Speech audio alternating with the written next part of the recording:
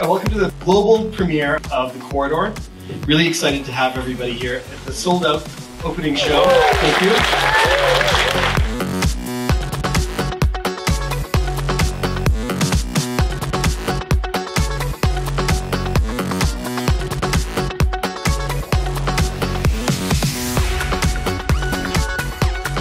It's not one or the other. It's not environment or, or people. And I think this film and, and, Ray did a brilliant job with this. And I think that awareness is what really, really matters.